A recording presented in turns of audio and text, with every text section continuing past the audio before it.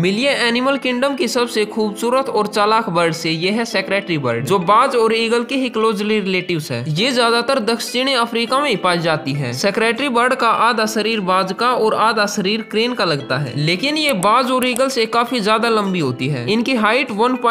metre या four feet होती है इतने ज्यादा लंबी होने के बावजूद भी सेक्रेटरी बर्ड काफी ज्यादा हल्की है इनका वजन मात्र चार किलो होता है सेक्रेटरी बर्ड तीन हजार मीटर की ऊंचाई पर उड़ती है वैसे ये बहुत ज्यादा ज्यादा जरूरत पड़ने पर ही उड़ती है वरना ये पैदल ही चलती है एक दिन में ये बीस से तीस किलोमीटर जमीन पर चल लेती है सेक्रेटरी बर्ड स्नेक्स के लिए किलर मशीन है और इन्हें आर्चर और स्नेक भी कहा जाता है जिनमें किंग कोबरा के साथ दुनिया के सबसे वेनमस स्नेक भी होते हैं और ये इन सांप को अपनी एक पावरफुल किक में मार डालती है इस बर्ड की हर किक पिन पॉइंट एक्यूरेसी के साथ लगती है साथ में ये अपनी एक किक में अपनी बॉडी से पांच से छह गुना ज्यादा फोर्स लगा देती है सेक्रेटरी बर्ड के आंखों की पलके फिल्टर का काम करती है